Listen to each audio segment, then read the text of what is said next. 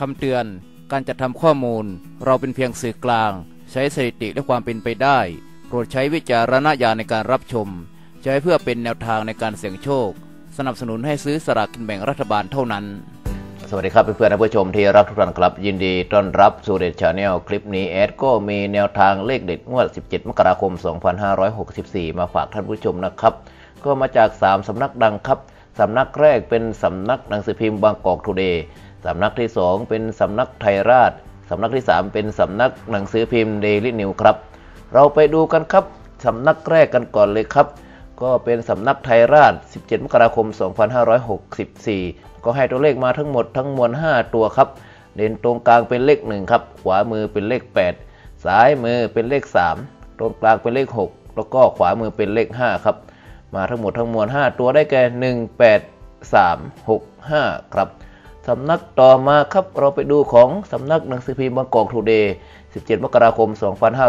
2564 หนังสือพิมพ์บางกอกทูเดย์ก็ให้เลขวิ่งมาทั้งหมดทั้งมวล 7 ตัวครับ เด่นตรงกลางในตารางเป็นเลข 5 ข้างบนเป็นเลข 8 ข้างล่างเป็นเลข 0 ซ้ายมือเป็นเลข 4 ขวามือเป็นเลข 7 นอกตารางซ้ายมือเป็นเลข 1 แล้วก็ขวามือเป็นเลข 7 ครับ เรามาดูสำนักต่อมาครับไม่ให้เสียเวลาครับท่านผู้ชม เรามาดูสำนักหนังสือพิมพ์เดลินิวครับ 17 มกราคม 2564 ก็ให้เลขวิ่งมาทั้งหมดทั้งมวล 7 ตัวอีกเช่นกันครับ เด่นตรงกลางครับที่มีดอกจันเป็นเลข 2 แล้วก็ซ้ายมือเป็นเลข 1 ครับ แล้วก็ล่างเลข 1 เป็นเลข 5 แล้วก็เลข 3 ขวามือครับเป็นเลข 8 เลข 9 เลข 6 ครับ เด่นเลข 2 แล้วก็เลข 1 นะครับ หนังสือพิมพ์เดลินิวให้มาครับ เราไปสรุปครับท่านผู้ชม 3สำนักจะมีตัวเลขที่ให้มา มีตัวเลขไหนครับเหมือนกันบ้างครับ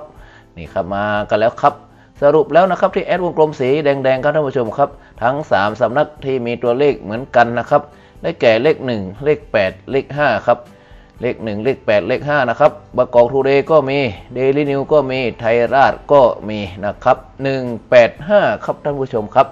ท่านผู้ชมก็ใช้เป็นแนวทางซื้อสลากกินแบ่งรัฐบาลนะครับงวด17 มกราคม 2564 ที่จะถึงนี้นะครับ แอดก็ขอขอบคุณเจ้าของข้อมูลทุกๆสำนักนะครับ ที่ให้เลขเด็ดเลขสวยมาฝากท่านผู้ชม เราจะมีความโชคดีมีชัยในวันที่ 17 มกราคม 64 ต้อนรับปีใหม่กันนะครับทางนี้แอดก็ขอขอบคุณท่านผู้ชมท่านที่ติดตามรับชม โชคดีมีชัยต้อนรับปีใหม่ปี 2564 พร้อมกันทุกๆ คนนะครับ รักทุกท่านครับ ขอบคุณครับ